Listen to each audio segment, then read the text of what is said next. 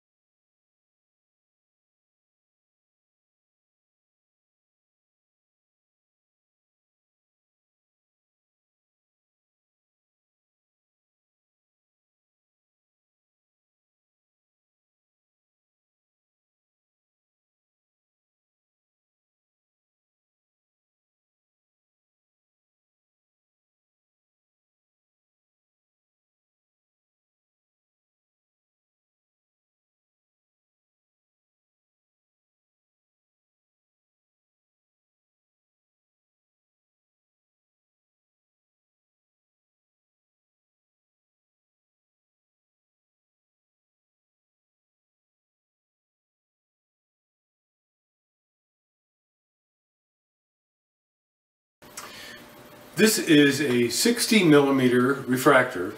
Uh, it's a standard uh, kind of a generic TOA objective. It's got a uh, focuser back here and uh, I can't remember some sort of a generic finder here. This is a convertible telescope so this is f15 but it can be separated right here and turned into an f12 uh, should I desire to do that. Uh, it's got a standard Unitron clamp here uh, to hold it on. There's some other Unitron uh, bits and pieces here. Most notably is the Unitron clock drive, you may be able to hear it, and if you keep your eye on this thing, you'll see that that's moving very slowly. Um, now this is actually a worm and worm wheel from a Unitron 3-inch telescope. And the clock drive was designed to work with a 4-inch telescope. However, I know from experience, I've tried it, um, the 4-inch, the, the clock drive is tunable. So you can tune this so that it will work with this. You have to uh, slow it down just a little bit, maybe 25% or so, so it'll work with this, uh, this gear ratio. Let me show you some of the features of this equatorial head. Uh, first of all, let's take a good look around it. I don't know what you call this style of a mount. It looks like a harp to me. I think there are other mounts that are uh, more aptly described as harp mounts. Anyhow, this is uh, maybe a crescent mount. Anyhow, this is uh, something I've been wanting to build for quite some time is a mount like this. I built I made all of this stuff with a couple of exceptions. Uh, this gear, this is a worm and wheel from a Unitron 3-inch scope. Uh, the setting circles are Edmund setting circles that I polished up that came out quite nicely. They're aluminum, but I polished them up and uh, they look pretty darn good if you ask me. But I made virtually everything else you see here, except for the knobs, maybe some of the knobs. Now let me show you how this works in terms of adjustment for latitude. If you want to change the latitude, there's a couple of locking bolts here. Once you unlock those, you can change the latitude.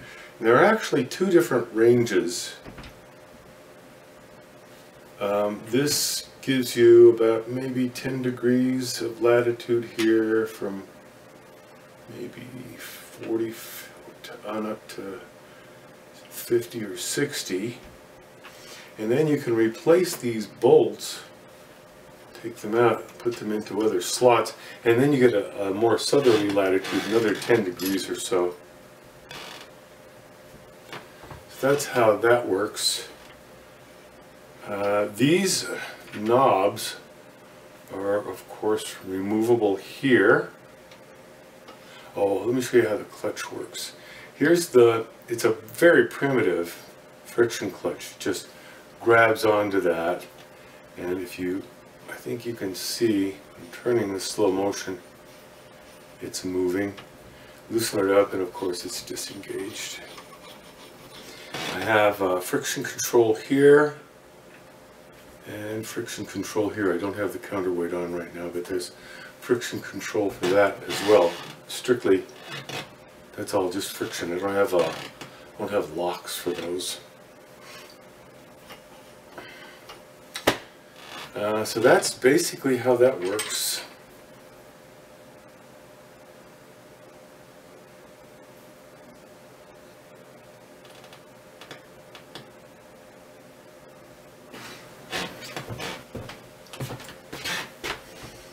Me show you how to set up the clock drive for this thing.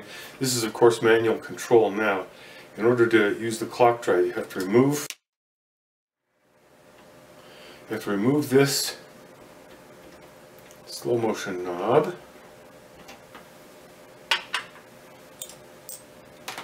This little support goes on here. This support is adjustable so that you can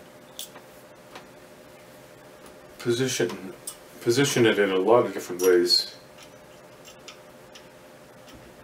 to allow for a good deal of flexibility. Let's just set it about there for now. This piece, there's a couple of gears inside this box, of course. So the drive is going to come up here and turn this. So we need to get that attached to that shaft. I'm going to have to line this up a little bit.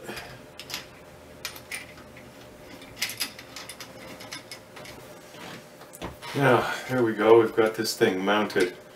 We may have to make some adjustments here, like that, to position this in the right, at the right angle. It's pretty easy to do that. This arm really is not too much, doesn't function too much in the way of support.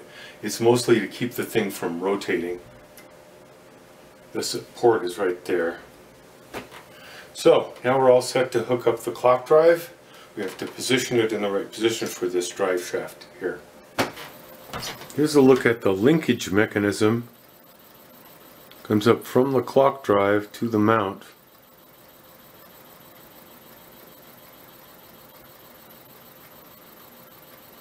Linkage mechanism is uh, designed with a certain amount of flexibility. It's got a, a lot of latitude. You can move things around let me show you that a little bit. If you um, change the position here, there's a, a sliding contact down here that gives you some latitude in regard to the, that position.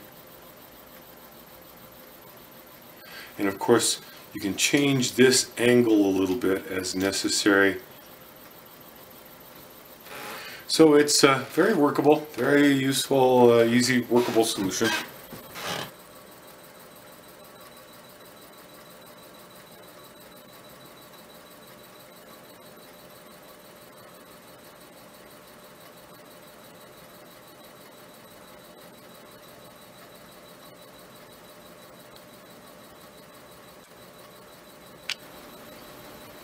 I hope you've enjoyed having a look at this unusual home-built telescope.